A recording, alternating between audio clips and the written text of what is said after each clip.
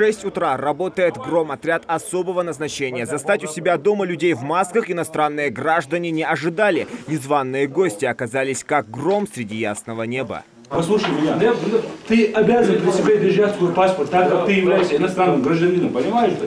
А где твой паспорт сейчас?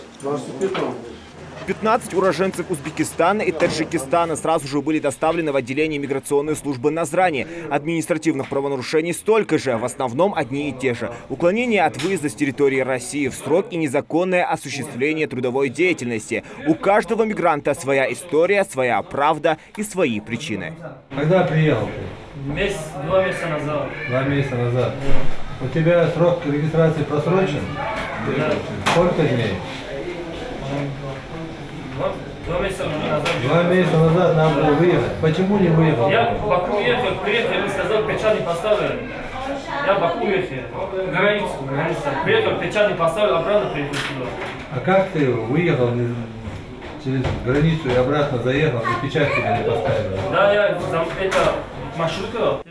Гулимах Рахимову вместе с ее двумя маленькими детьми также доставили в отделение. Уроженка Узбекистана в Ингушетию приехала всего лишь год назад в поисках лучшей жизни. Жалуются, что на родине нет работы. Кто зарабатывает у вас дома? Вот, где работаете? Муж мой работает. А где работает? Частный по городу. И таких историй немало. Каждый хочет заработать и прокормить свою семью. Вот только делать это нужно законно, получив специальный патент в миграционной службе. А находиться на территории России иностранцы имеют право только встав на миграционный учет. У каждого мигранта-нелегала свои точки. Нередко их можно встретить на федеральной трассе. Сейчас, как ни странно, их след простыл. Правда, надолго ли? Ведь каждое утро иностранные граждане собираются в группу и выстраиваются в очередь в поисках работодателя. Копают ямы, делают штукатурку, в общем, все виды работ.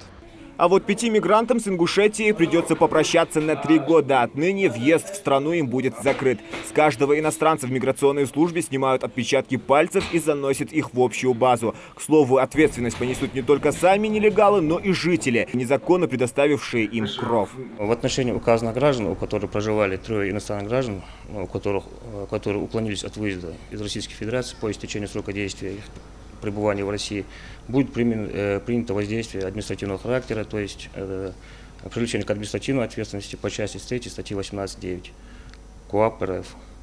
Э, Там санкции от штраф от 2 до 5 тысяч рублей.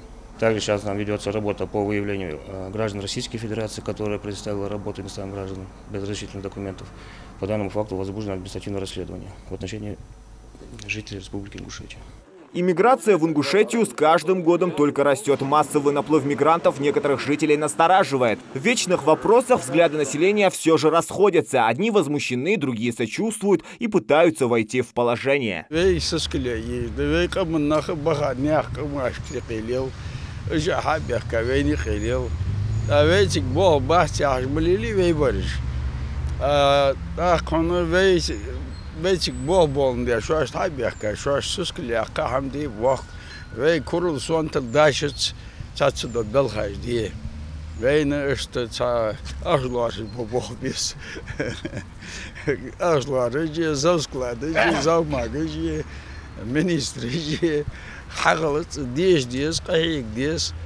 Одно остается неизменным. Мигрантов меньше не становится. Одни приезжают работать, другие попрошайничать и зарабатывать на сострадании других людей. Зелимхан Калоев, Адам Далаков, Новости 24.